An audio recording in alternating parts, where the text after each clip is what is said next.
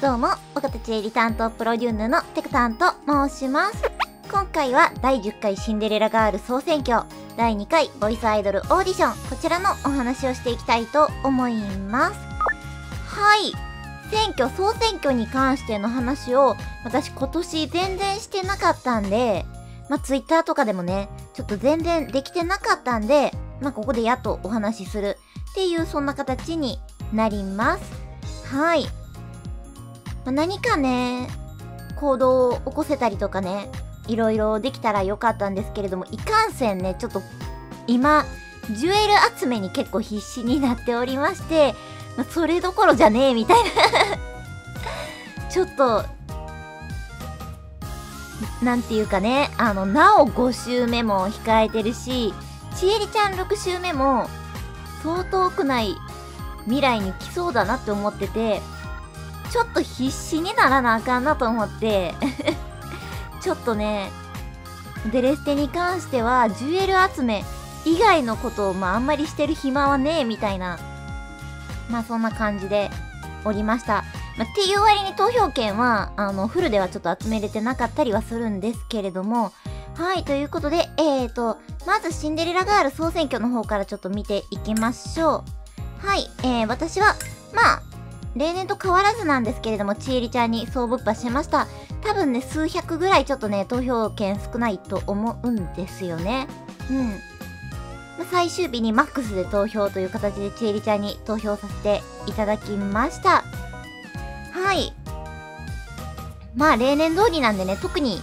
なんか珍しい行動とかそういう話も特にはないんですけれども、今年は私の副担当のなおが結構どこまで頑張るかっていうのが結構、まあ見どころかなとか、ちょっと思ったりしてまして、仮に中間発表があって、結構、なおがいいところに来てたら、なんか入れるっていうそういう、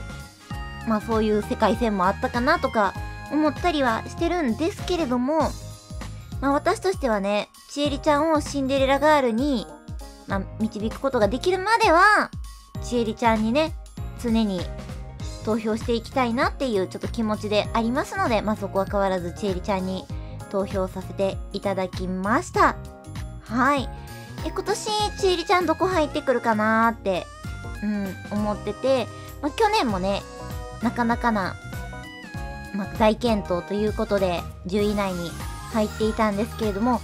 うん、今年も、まあ、入るんじゃないかっていう期待はしつつ、もしや5位以内に食い込む可能性あるのではっていう期待もしております。イベント期待しております。ちょっとドキドキね、しております。はい。そして、ボイスアイドルオーディションの方行きましょう。はい。こちらも、まあ、去年と変わらずひじりちゃんにね、全部っぱ行きました。うん。まあ、これに関してはね、うん、分散させたらね、ちょっと、うん、ひじりちゃんに声つかないかなって、私のまあ、投票のこの枚数が少ないのもあってね、まあ、うん。ってこともあって、もう票を集めました。結構ね、いろんなアイドルちゃんにかなり分散されると思ってるんで、ひじりちゃんもね、結構いいところまで来てるんじゃないかなって期待はしてるんですけれども、でも、うん、まあいろいろちょっと予想はしてるんですけれども、3人ってなった時に今年声つきそうやなって思ってるアイドルの中にひじりちゃんが微妙に入るか入らないかのとこでちょっとねそわそわしたりしております。うん。これねついてなんかちえりちゃんと一緒になんかデュエットとかしてくれたらなんかすごい 合いそうでいいなっていう期待もね実はしたりしております。はいということで私の総選挙のお話をしていきました。まあ、誰がシンデレラガールになるかなとか、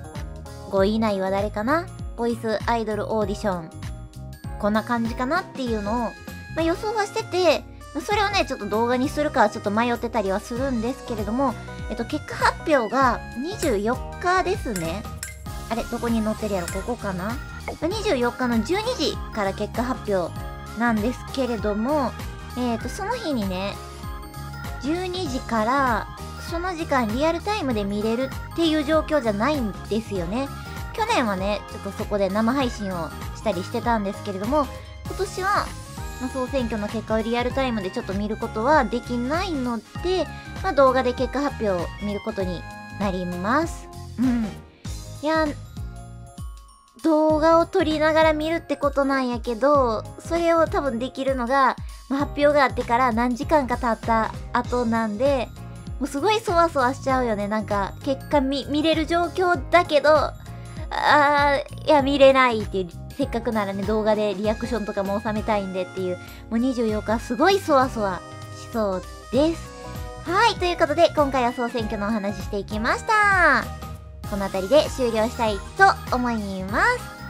もしよろしければ画面下にある高評価ボタンをポチッと、画面右下にあるチャンネル登録ボタンをポチッとよろしくお願いいたします。それではご視聴いただきありがとうございました。お疲れ様でした